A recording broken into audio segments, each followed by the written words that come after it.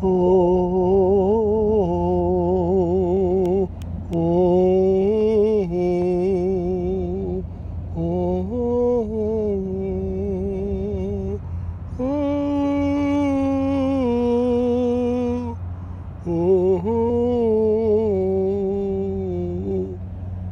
oh,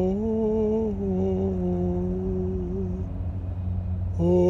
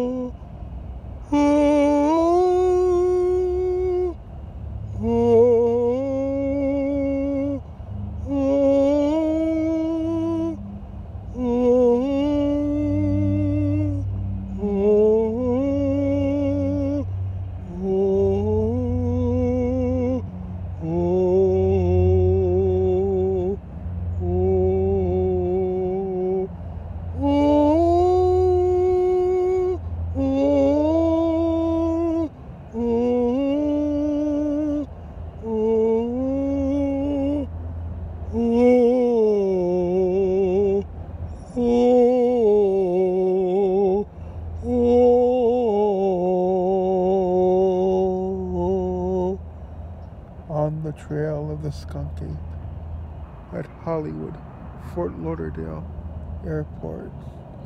Stay tuned for more future searchings for the Florida skunk ape. Mm-hmm. What was that? What was that?